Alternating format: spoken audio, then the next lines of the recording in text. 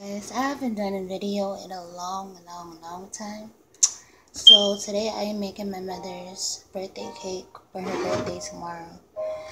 The cake box, the cake that I'm using is strawberry cake. I'm doing a two-layer cake with strawberry glaze, fresh strawberries and glaze in the middle with I don't know if I want to do strawberry buttercream or just a red buttercream, but I'm going to do a buttercream frosting so I'm doing a two-layer cake, buttercream frosting with strawberry glaze in the middle.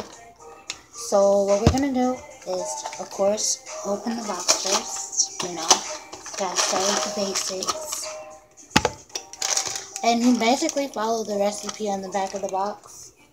Uh, I'm looking for my kitchen service. I'm sorry, do it for me. So I'm open for the cake batter in first have small fingers, you guys. I'm sorry. I'm gonna pour the cake batter in.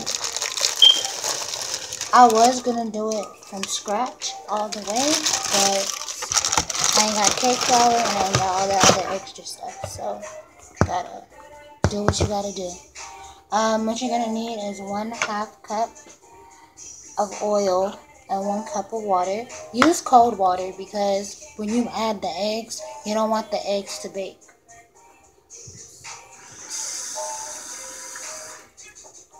So you're to add your one cup of water in here.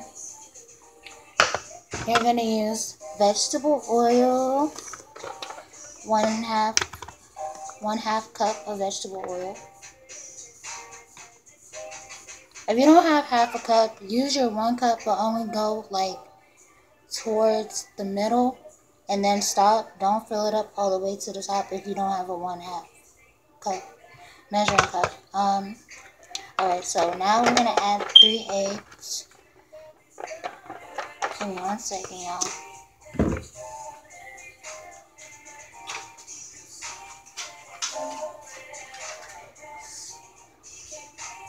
I love my mother so much. I ain't even eat today. I ain't eat yet, actually. So, you're to put the first egg. Usually, you're supposed to add the um, egg separate in a cup just so you won't get any eggshells in it.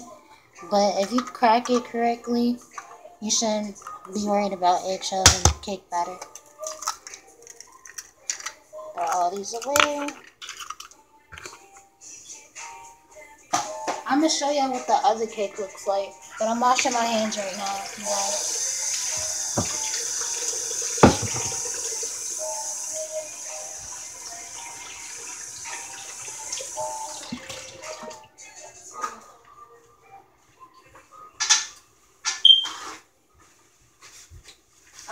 Okay, so I'm gonna bring you guys over to my mixing station, which is the station next to me, because we don't have an outlet over here, so I gotta move my stuff.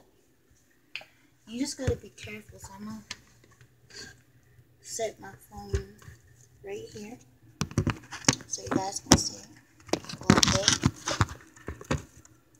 I'm using one of these mixers, handheld mixer. Um, I want my other mixer my, my baking.